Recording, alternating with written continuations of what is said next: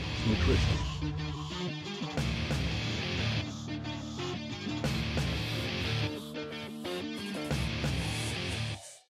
V pondelok neskoro v noci odchádza do Kolumbusu do USA Islabs Team. V rámci Islabs Teamu je aj Akoš Dobož. Akoš Dobož nie je členom Islabs Teamu, je súťažiacim a my ho iba sprevádzame. Akoša akurát mám na, na telefóne. Akož ahoj. Čau, pozdravujem všetkých. No, my sme sa stretávali už niekoľko týždňov pred Arnold Classic. Ja ťa tak priebežne sledujem, čo sa týka tvojej formy Viem, že ty si chcel súťažiť v kategórii do 85 kg. Podarí sa ti stiahnuť tej 85 kg, alebo nie?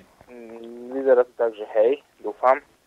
Teda dneska ráno kilo a pol, dva pomaly spadol dole váha, takže, takže tak, jak plánujem na zajtra ráno, dúfam, že bude ten 88. Uh-huh. A tie 3 kg ešte asi ťahnem do vtedy. Dúfam, že na akože cez e, lietadlo kilo ešte spadne a tam tie dva dni ešte stačia na tie 2 kg.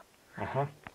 Tá váha ti spadla, myslím, že o kilo, kilo a pol aj minulý rok. Ja iba pripomeniem tým, ktorí nevedia. Ty si sa zúčastnil Arm Classic už pred rokom. Skončil si na 6. mieste alebo na 7. mieste? 6. alebo na 7. presne už ani ja, ja neviem. Tak, bolo to jedno, mieste pred, jedno miesto pred finále. Bolo, bola tá kategória opäť do 85 kg. Keď sa pozrieš na, na seba teraz, to znamená, že vieš sa zhodnotiť, vyzeráš lepšie alebo horšie ako spred roku? Podľa mňa je lepšia kvôli tomu, lebo v minulom roku ja som začal neskoro kvôli tomu, lebo moja polovička Janka Majaníková vtedy, keď začala pripravovať, ja som ešte, ešte len rozmýšľal na tom, či hej, či nie. A na konci od januára som začal prípravu minulom roku, takže dva mesiace som pripravoval.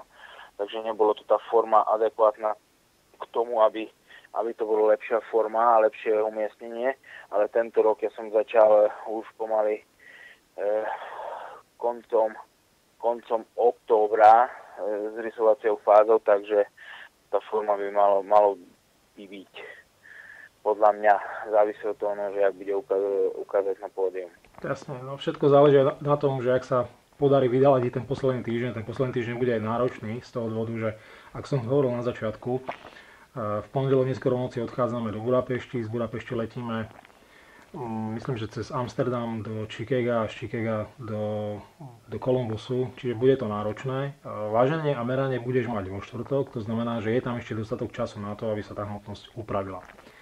A čo sa týka ambícií, nebudem sa pýtať, človek chce dopadnúť čo najlepšie, ale zaujímalo by ma, čo bude v tvojom prípade po Arnold Classic. Pôjdeš na majstrovstvá Slovenska na Mozolani Pro Classic, budeš bojovať o nomináciu na majstrovstvá Európy, alebo si dáš pauzu oddych?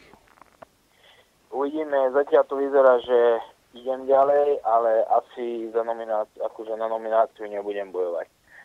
Eh, zatiaľ, zatiaľ mi trošku, trošku tie ramena, čo aj v minulom roku, tam eh, bolo s tým problém. Eh, chvála Bohu, teraz drží ale neviem, že ak bude ďalej. Uh-huh. Tak Zatiaľ má, mám, to, má, mám to na pláne, že budem ťahať ešte do Slovenska, na majstrovstvo Slovenska a uvidíme, že čo ďalej. Uh-huh. To všetko závisí od vedenia. Uh-huh. Tak dúfam, že zdravie vydrží. Spomenul si Janku Majerníkovú, tvoju, tvoju uh, priateľku. Počul som, že už je to snúvanica, tak? Áno, áno, áno, áno. Už, už dávno a dúfame, že bude aj, aj manželka.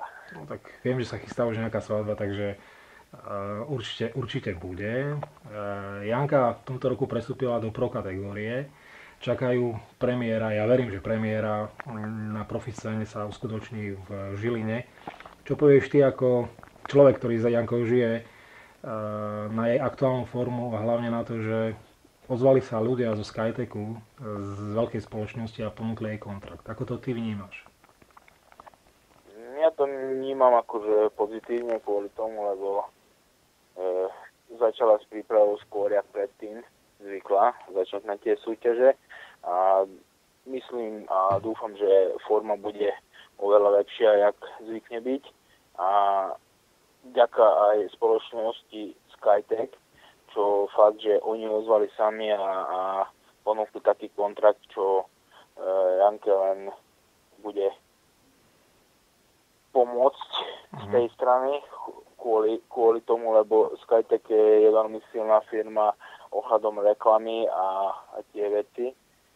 Takže to nemohla odmietnúť. Jasne rozumiem. Dnes sme práve posielali do Skytechu fotografie, autorom ktorých je externý člen Izla v Majo Čambal, takže ja verím, že si niečo vyberú.